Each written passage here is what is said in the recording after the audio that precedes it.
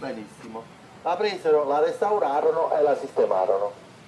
Dopo dieci anni, nel 2007-2008,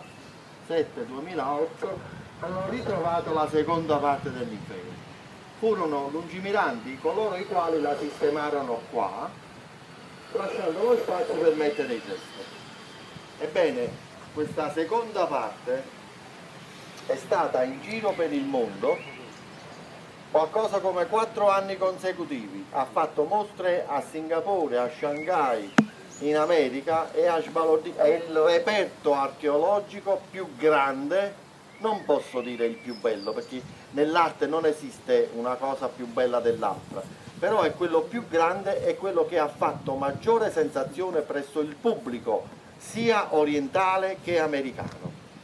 Noi adesso questa seconda parte del ninfeo la teniamo qua nel museo che abbiamo adesso appena visitato, siamo in attesa di vederlo in opera, quando sarà posto in opera sarà uno spettacolo, perché che cosa disegna?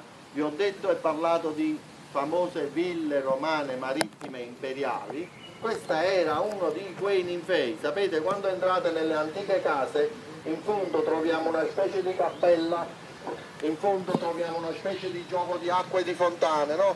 la prospettiva che viene creata. Questa era una parte di una villa marittima che così che guardava il mare, guardava il mare in direzione Capri per di più, giù alla Marina della Lobra, in località Pipiani. Chi è di Massa Luprezzi? Voglio, voglio. Fabrizio. Eh. eh beh, Fabrizio Pipiano, tu vai a fare il bagno sul muraglione, dietro al porto questa era una villa, di cui, la villa non la conosciamo, conosciamo il ninfeo. Questo ninfeo è una cosa spettacolare perché ci ha fatto capire e conoscere i canoni del giardino antico romano. Quali sono i canoni?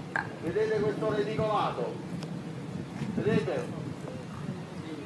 Il tipo di albero, come era fatto il giardino, quindi ci ha raccontato la storia del giardino nell'antica Roma. Poi è tutto ricamato e attorniato da una serie di conchiglie. Conchiglie che si chiamano pecten mentre invece in orizzontale ci stanno nella parte superiore. Vedete qua?